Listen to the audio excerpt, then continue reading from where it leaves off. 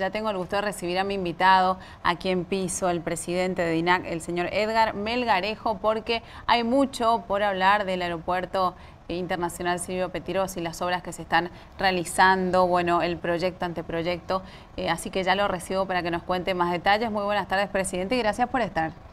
Al contrario, eh, muy amable por esta invitación. Eh, siempre estamos anunciando buenas cosas.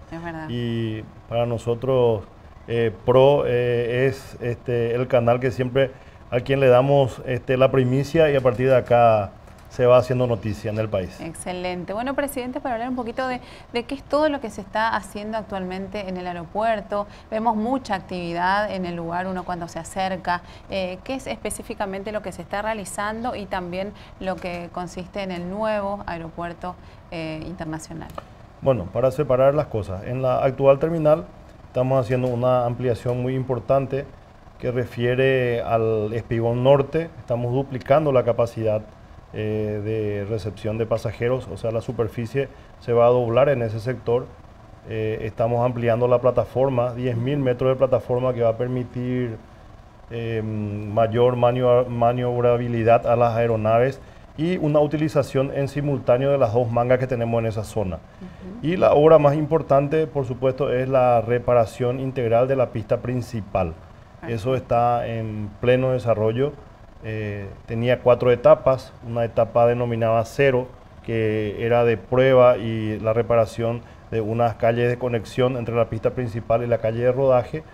Eh, la etapa 1, que constituía la intervención de, de la, parte norte de la cabecera, nor, de la, perdón, la cabecera sur de la pista, unos 1100 metros, que incluso la terminamos antes del, cronograma, antes del periodo establecido por el cronograma.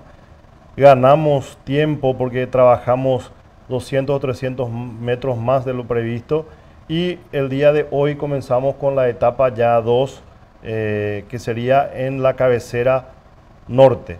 Eh, nuestro aeropuerto, por suerte, no interrumpió eh, ninguna de sus actividades.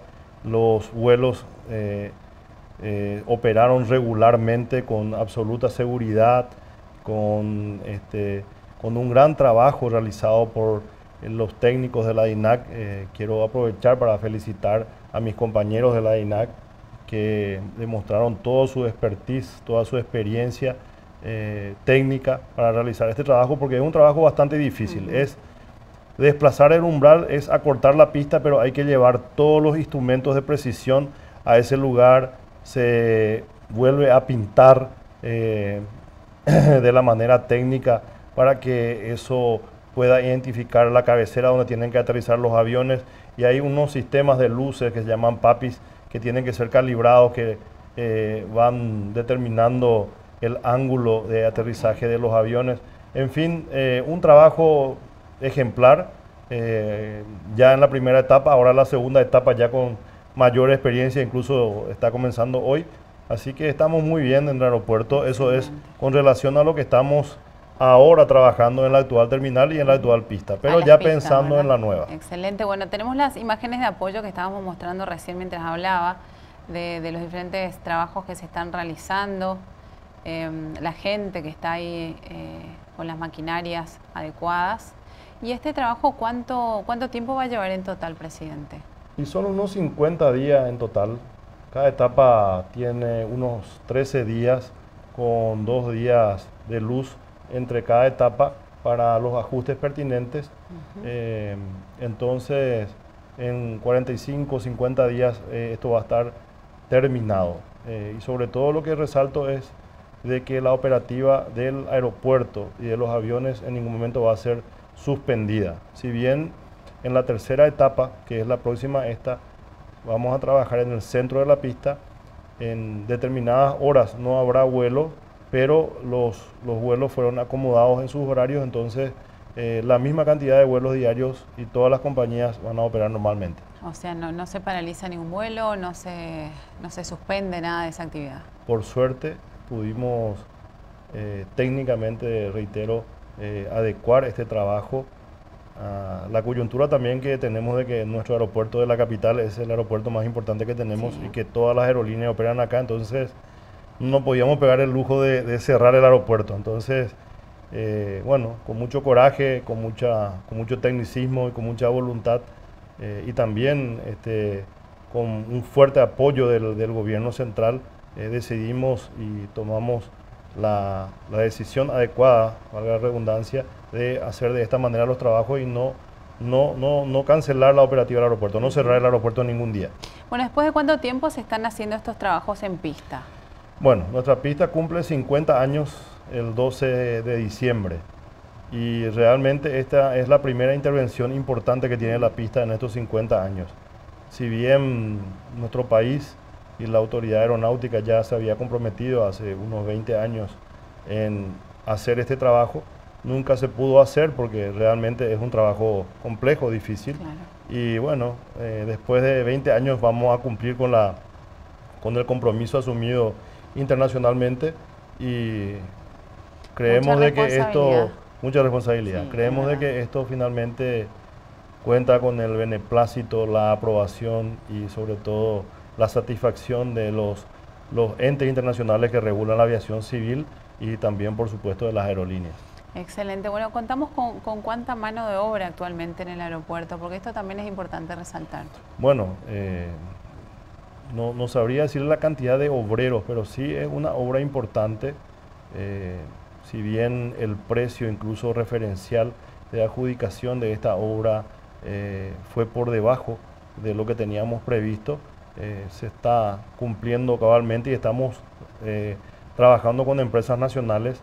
Eh, un gran trabajo, incluso quiero que sepan de que hay obras accesorias a, a, la pista principal como es el montaje de una planta asfáltica. Tuvimos que montar una planta asfáltica dentro del recinto del aeropuerto, hacer caminos laterales que hoy ya están culminados en fin, un sinnúmero de obras y está dando realmente mucho trabajo a mucha gente y sobre todo a empresas paraguayas. Perfecto. Bueno, estamos hablando de una inversión en esta primera etapa de cuánto, presidente. Y está rondando los 3 millones y medio de dólares más o menos en esta primera etapa, la pista, la reparación de la pista.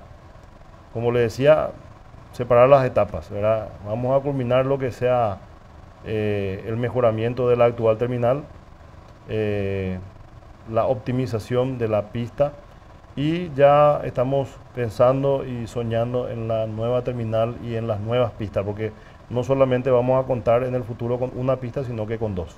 O sea que, bueno, muchísimo se viene por delante entonces. Y bueno, ahora se presentó el anteproyecto, ¿verdad? De lo que va a ser la nueva eh, terminal aérea. ¿Y eso cuánto se estaría eh, dando las primeras paladas? Bueno, estamos haciendo el concurso de presentación de los anteproyectos de el diseño arquitectónico y posterior proyecto ejecutivo de la nueva terminal de pasajeros del Silvio Petirosi. Ese, todo ese proceso estamos haciendo en forma conjunta con la OASI, que es la matriz de la aviación civil mundial. Eh, el, proceso y el llamado lo hacemos en Montreal, en Canadá. Eh, realmente nos sorprende, incluso a la misma OASI le sorprendió de que 12 de las empresas de los estudios arquitectónicos más importantes del mundo en esta materia se presentaron para el concurso. Eh, están en este momento en pleno proceso de recepción de ofertas hasta el 30 de septiembre y para finales de octubre ya tendremos adjudicado el anteproyecto. Seguramente ya tendremos algún 3D, alguna, alguna, algunas imágenes para mostrar de lo que va a ser la futura terminal. Y bueno, eso va a llevar seguramente unos seis meses de trabajo para tener el proyecto ejecutivo terminado. En ese lapso vamos a ir trabajando con otras entidades, incluso que queremos involucrar en el proceso, para hacer el llamado de obras que sí vamos a hacer aquí en Paraguay. vamos a hacer un concurso internacional eh, de, de, empresas de construcción para la terminal. Paralelamente a esto, eh, y esta es la primicia importante, el día de mañana miércoles se va a elevar al portal de la OASI el segundo concurso de diseño arquitectónico del lado aire, que son las pistas y las obras complementarias a la terminal. Ah, perfecto. Bueno, entonces, tenemos la primicia, entonces. Sí, así es. Excelente.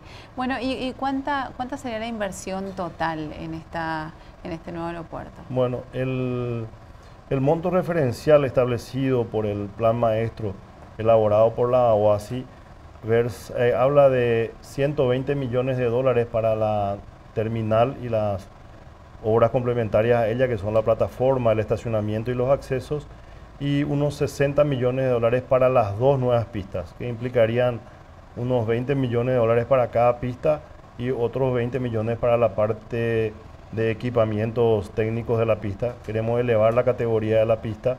Hoy tenemos categoría 1, queremos llegar ya a categoría 3 para que los vuelos este, nunca sean interrumpidos por ninguna circunstancia, sobre todo climática, y que prácticamente los aviones y los pilotos puedan operar de forma instrumental en un 100%. Excelente. Bueno, hagamos un adelanto, presidente. Va a ser eh, mucho más grande que el actual. Vamos a estar al nivel de los grandes aeropuertos eh, internacionales. No, no, no, no, es grande ciertamente. Sí, eh, técnicamente va a cumplir con la demanda para los próximos 20 o 30 años. Está, está graficado este proceso en etapas. tiene tres etapas según este proyecto, este anteproyecto que hizo la OASI. Nosotros queremos ya llegar ahora a la segunda etapa. Tendría unos 33 mil metros cuadrados eh, en su volumen total, pero sobre todo lo que queremos es llevar a la contemporaneidad, eh, tener una, una terminal emblemática. Queremos que esta sea la carta de presentación de nuestro país y sobre todo también el, el último recuerdo que se lleve la gente. Entonces, eh, optimizar la infraestructura y también eh, ser muy eficiente en la atención, que de hecho que nos caracteriza en la DINAC y, su gente eh, es, tiene mucho, mucho, mucho compromiso con la institución y yo creo que los pasajeros son bien atendidos siempre. Excelente. Bueno, presidente, ¿cómo van a, cómo van a ser los funcionarios mientras se esté construyendo esta nueva terminal aérea? y no va a afectar para nada la, operativa de la actual terminal, incluso considerando que esto va a tener seguramente dos años, dos años y medio de construcción, estos próximos tres años eh, la terminal va a poder sostener su demanda de pasajeros eh, con estas ampliaciones que ya mencioné que estamos haciendo. Incluso estamos en este momento, fruto de una reingeniería comercial, lanzando los concursos para toda la parte comercial. O sea, vamos a tener un nuevo sistema de duty free, un nuevo sistema de publicidad, un nuevo sistema de rentacar. en fin, estamos, eh, para no decir licitación, unos concursos eh, de ofertas sobre estos rubros basados sobre, sobre todo en la optimización del servicio. Eso va a implicar también que hagamos obras de ampliación porque Queremos tener realmente una zona comercial eh, que sea también un atractivo para nuestro aeropuerto.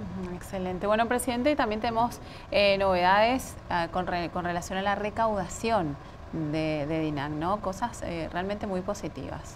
Bueno, si bien todavía no llamamos a todos estos concursos que van a, generar una mejoría enorme en la recaudación, ya hoy podemos eh, mencionar a la gente que a pesar de que tenemos una merma importante en el volumen de mercaderías de importación, que es el rubro principal de recabación de la INAC, hoy estamos ya con un 11% eh, por encima de la recaudación del año pasado, eh, o sea que estamos mejorando, optimizando nuestros ingresos.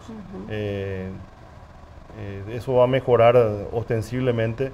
Queremos nosotros equipararnos a lo que son los otros aeropuertos del mundo donde los ingresos no aeronáuticos como los ingresos comerciales que estaba mencionando sean lo que realmente determinen eh, el flujo importante de los ingresos y no ciertamente los ingresos aeronáuticos para que nosotros seamos un aeropuerto competitivo y generemos, generemos mayor eh, conectividad y mayor interés, sobre todo en, este sistema de aerolíneas low cost y que que tienen realmente muy en cuenta el nivel de costo de cada aeropuerto.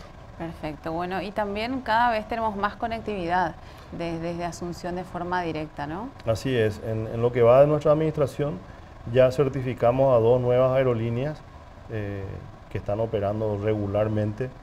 Y nosotros tenemos también este, eh, algo muy bueno de que a pesar de la crisis regional no bajó el número de pasajeros, incluso sigue creciendo con relación al, año anterior, así que eso determinó que la conectividad eh, haya mejorado y haya las ofertas hayan mejorado también y la gente apele más a utilizar eh, la aviación o los aviones como medio principal de transporte.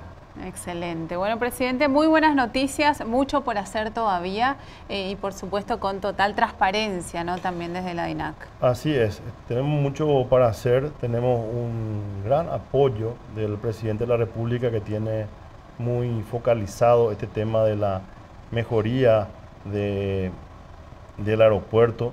El gobierno concibe de que nuestro determinismo geográfico eh, lo vamos a vencer generando mayor conectividad, por eso se preocupa justamente de mejorar el aeropuerto, de mejorar las vías terrestres, nuevos puentes, nuevas rutas. En fin, Paraguay tiene que ser un gran centro logístico y tiene que ofrecer todas estas ventajas diferenciales para romper con nuestra mediterraneidad. Así es, bueno, muchísimas gracias presidente por estar y lo espero en cualquier momento con más novedades. ¿sí? Vamos a acceder a todas las invitaciones que nos hagan, como le digo, nosotros nos sentimos muy complacidos de estar con ustedes.